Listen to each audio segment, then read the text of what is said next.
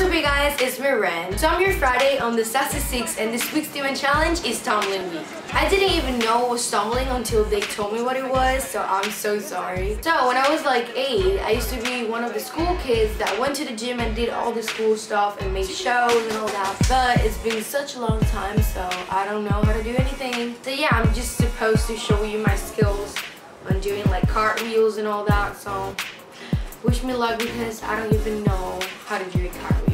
So yeah, let's go ahead and get started and please don't laugh at me.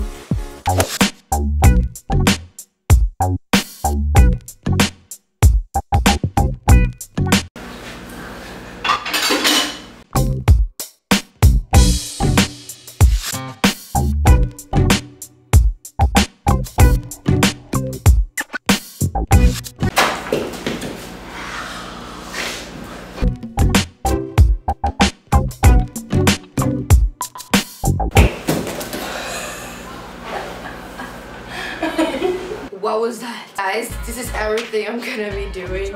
I am so sorry. I don't, I don't know. This week's demon challenge for me was really difficult because I'm not Tabitha or Lexi or I don't know. I'm just not, I don't have that talent, you know? Have an amazing day. I hope you guys enjoyed it. Give this a thumbs up if you did and see you next week. Bye.